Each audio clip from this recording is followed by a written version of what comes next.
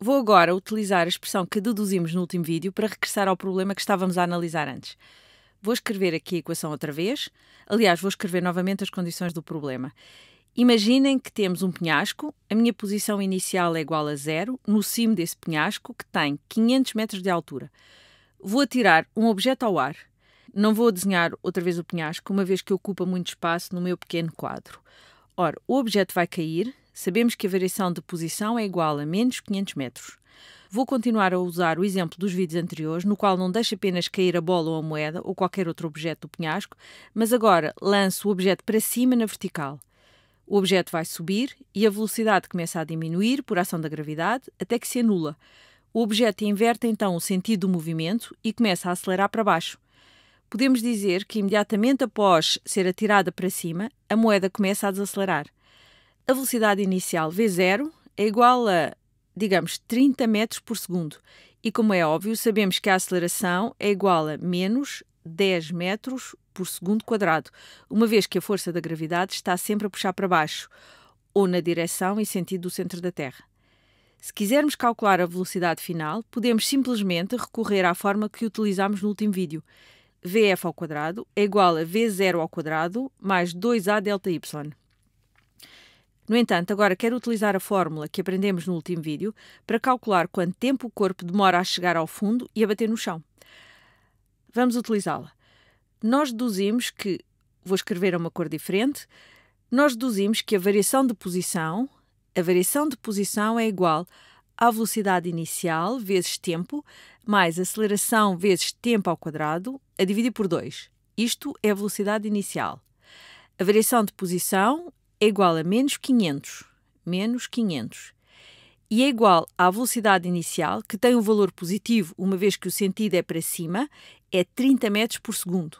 30 T. Não vou escrever as unidades agora, caso contrário fique sem espaço, mas podem fazê-lo e perceber que as unidades estão corretas.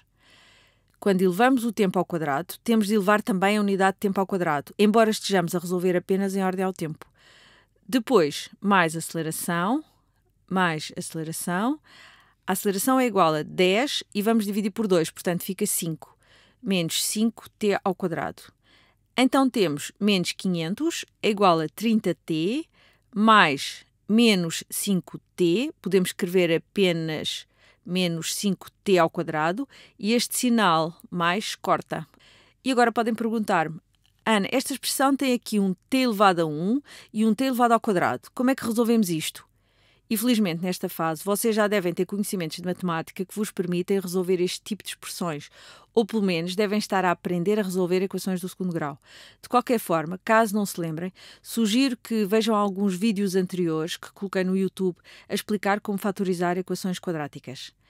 Eu espero que vejam primeiro esses vídeos, caso não se lembrem como resolver. Podemos fazer isto. Vamos colocar estes dois termos no lado esquerdo da equação e depois utilizamos a fórmula resolvente, uma vez que não é fácil resolver esta equação através da fatorização. Fica 5t ao quadrado menos 30t menos 500 é igual a zero. Apenas passei estes termos para o lado esquerdo da equação. Podemos dividir ambos os lados por 5 apenas para simplificar a equação e fica t ao quadrado menos 6t menos 100 é igual a zero. Podemos fazer isto uma vez que 0 a dividir por 5 dá zero. Ficou um pouco mais simples a expressão. Vamos utilizar a fórmula resolvente e para aqueles que precisem de refrescar a memória, vou escrevê-la aqui embaixo.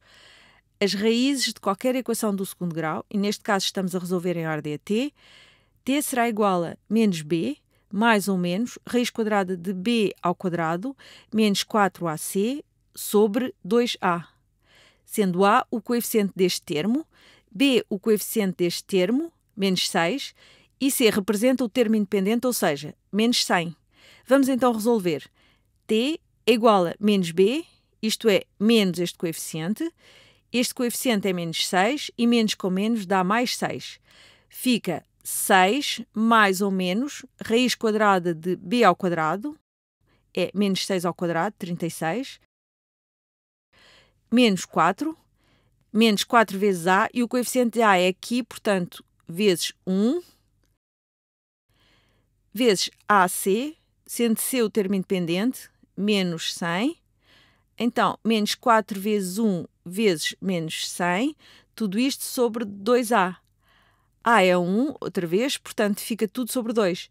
Isto dá 6, mais ou menos, raiz quadrada, isto é, menos 4, menos 100, o que dá mais, pelo que fica 36 mais 400. Ou seja, 6 mais ou menos raiz quadrada de 436 a dividir por 2.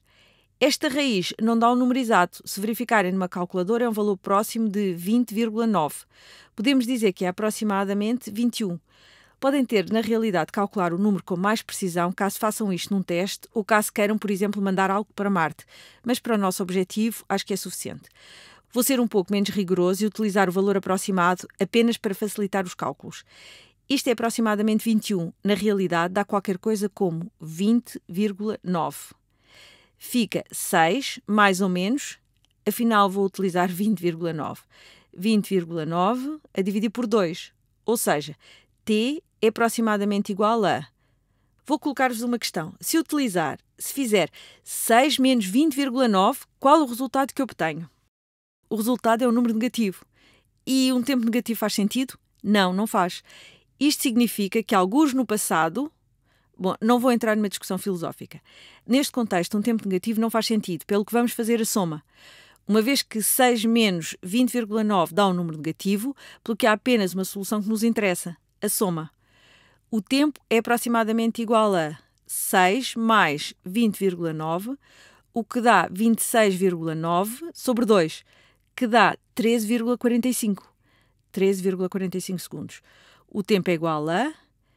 E isto é interessante eu penso que se vocês se lembrarem, se recuarem talvez uns 4 ou 5 vídeos, quando resolvemos pela primeira vez este exercício, no qual simplesmente deixámos cair a moeda, atirámos a moeda do cimo do penhasco, aliás, nesse exemplo eu dei-vos o tempo. Eu disse que a moeda demorava 10 segundos a chegar ao chão e resolvemos o problema no sentido de descobrir que a altura do penhasco era de 500 metros. Agora, se estiverem no topo de um penhasco ou de um prédio de 500 metros e deixarem cair algum objeto sobre o qual a resistência exercida pelo ar possa ser desprezável, como uma moeda que cai quase sem resistência, demorará 10 segundos a chegar ao chão, considerando o que sabemos sobre a aceleração da gravidade. Mas se lançarmos a moeda ao ar, para cima do penhasco, a uma velocidade de 30 metros por segundo, como está aqui, demorará 13,5 ou 3 segundos e meio para chegar ao chão. Ou seja, irá demorar um pouco mais, o que faz sentido, uma vez que Bom, ainda tenho tempo para fazer um pequeno desenho. No primeiro exemplo, eu deixei cair a moeda, atirei-a para baixo. No segundo exemplo, lancei a moeda ao ar, para cima, e só depois foi para baixo, correto? Ou seja, parte do tempo a moeda foi para cima e outra parte foi para baixo, pelo que percorreu uma maior distância até chegar ao chão.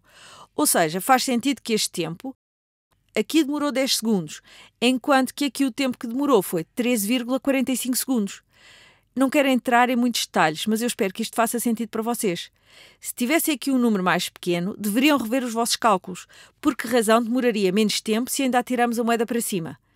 Espero que vos tenha ajudado a perceber isto. De facto, agora já têm ao vosso dispor um conjunto de fórmulas. Espero que também a intuição necessária para resolver problemas básicos sobre projéteis.